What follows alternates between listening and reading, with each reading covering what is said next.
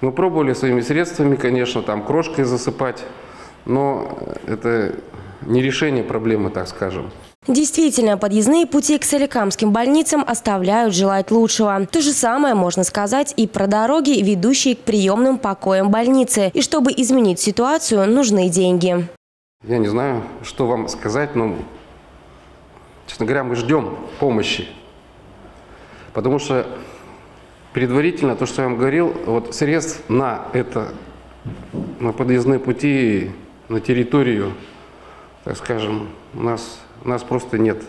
Напомним, все соликамские больницы уже несколько лет относятся к ведению здравоохранения Пермского края. И ремонтом больниц министерство планирует заниматься, выделив порядка 30 миллионов рублей медучреждениям города на 2018 год. А вот с дорогами нужно разбираться городским властям. На наш запрос они ответили следующее. Ремонт и содержание автомобильных дорог местного значения относятся к полномочиям органов местного самоуправления. Выделение средств из краевого бюджета на текущий ремонт дорог и подъездных путей к учреждениям здравоохранения на территории Соликамского городского округа невозможно.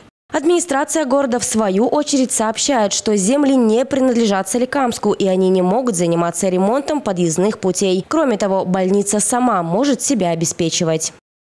Мышление немножко перестроить надо в медицине. То есть они на сегодня сами источники своих доходов. Они просто так, что вот нам столько надо, дайте нам столько.